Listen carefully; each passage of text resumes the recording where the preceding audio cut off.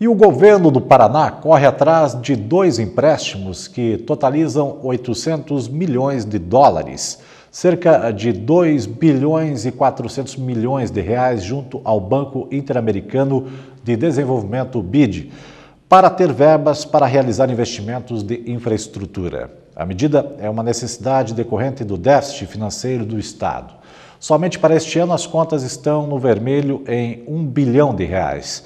Se somadas as dívidas que restaram do ano passado, o valor do débito chega a 2 bilhões e 300 milhões de reais. Sem o empréstimo que precisa ser aprovado pelo Ministério da Fazenda, o Estado não terá condições de realizar nenhum grande investimento neste ano. E moradores do bairro Fazenda Velha discutem soluções para a segurança pública durante reunião do Conseg. Com o objetivo de aproximar a comunidade e ouvir os seus apelos, os representantes da segurança pública da cidade e instituições que buscam colaborar com a segurança, juntamente com a direção da escola Ibrahim, organizaram uma reunião que abordou o tema segurança no bairro Fazenda Velha e Redondezas.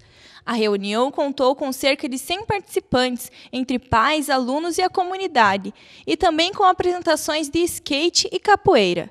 Os temas abordados foram usuários de drogas em locais públicos, na maioria das vezes abandonados, que tiram o sossego dos moradores da região, o consumo de álcool por jovens em parques e praças, sendo que geralmente os jovens dirigem após ingerirem a bebida, e iluminações das ruas e do CSU.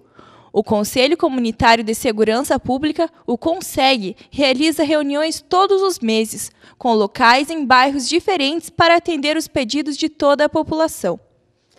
E assim nós vamos encerrando a edição desta noite do Jornal Regional. Agradecendo a todos pela audiência e nós voltamos amanhã aqui na TV Adalcária, trazendo mais informações. Uma boa noite para você e até lá.